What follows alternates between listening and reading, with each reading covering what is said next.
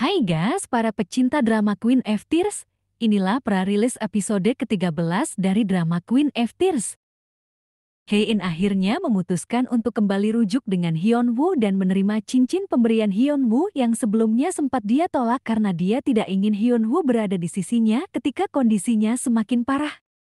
Tapi Hein tidak bisa membohongi perasaannya sendiri, bahwa sebenarnya dia juga masih sangat mencintai Hyun Woo. Setelah kemarin sempat tinggal bersama Hyun Woo, Hin akhirnya memutuskan untuk membawa barang-barangnya ke apartemen milik Hyun Woo.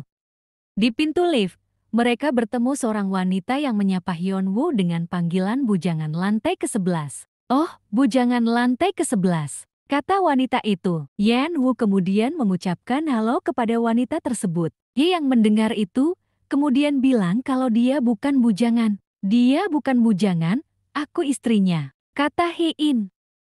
Membuat wanita itu terkejut karena sebelumnya Hyun Woo pindah ke sana sendirian. Wanita itu kemudian bertanya, Bukankah kamu bilang kamu tinggal sendirian di rumah itu ketika kamu pindah? Apakah kamu sudah menikah dan kamu seorang pengantin baru? Tanya wanita itu.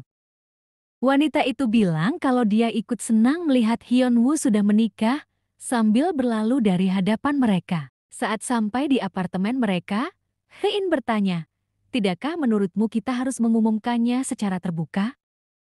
Hyun Woo kemudian balik bertanya kepada Hein, Kenapa Hien mau melakukan itu? Mengapa kamu ingin melakukan itu? Ye menjawab jika satu orang tahu, berita akan menyebar ke semua orang bahwa bujangan lantai sebelas sebenarnya menikah dengan wanita yang sangat cantik, katanya Hein dengan centil. Kemudian Hyun Woo bertanya, kalau begitu? Hein meneruskan kalimatnya, kita harus bersikap seperti pasangan pengantin baru. Mendengar itu Hyun Woo kemudian menarik tubuh Hai In mendekatinya, sambil berkata, jadi, keduanya akan menikmati kebahagiaan sebagai pasangan pengantin baru dengan sarapan bersama, tidur di sofa berdua dan jalan-jalan berdua. Nantikan episode ke-13 dan 14 untuk melihat bagaimana manisnya hubungan dua pengantin baru kita.